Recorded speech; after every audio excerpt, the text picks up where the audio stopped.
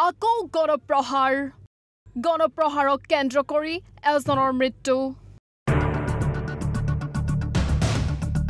ৰাজ্যত ক্ৰমাৎ বৃদ্ধি পাইছে গণপ্ৰহাৰৰ ঘটনা।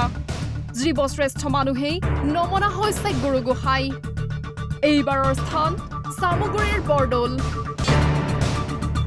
নিশা সংঘটিত গণপ্ৰহাৰৰ ঘটনাক কেন্দ্ৰ কৰি এতিয়া অঞ্চলজুৰি বিৰাজ কৰিছে তীব্ৰ চাঞ্চল্যই। গণপ্ৰহাৰত মৃত্যু হয়।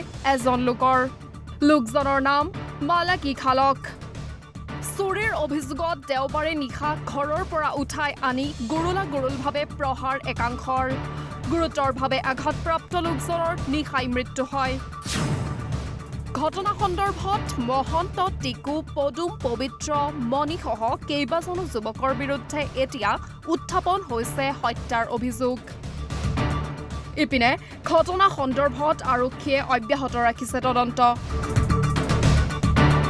কালি মই দোকান যোৱা সময়ত এই দাৱৈ আনিব যাওঁ মই ভৰিটো লেঙেৰা যে মই দাৱৈ আনিব যাওঁ তিনিআলি বড়ো তিনিআলিত অঁ। তাতে মই চালোঁ মানে মানুহজনক মাৰি আছে। কাক কাক মাৰিছে? এই মালাকীজনক। অঁ তাৰপিছত? তাৰপিছত মই খাৰা হৈ পেলাই মই তাহাঁতক মই ক'লোঁ এই ইমান মাৰিব নালাগে।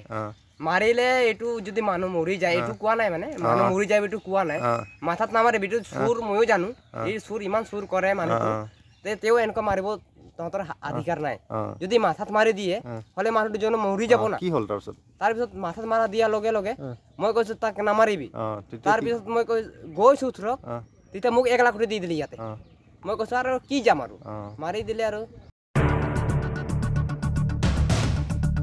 চামগুৰিৰ পৰা নৱজ্যোতি বৰুৱা ঈশান নিউজ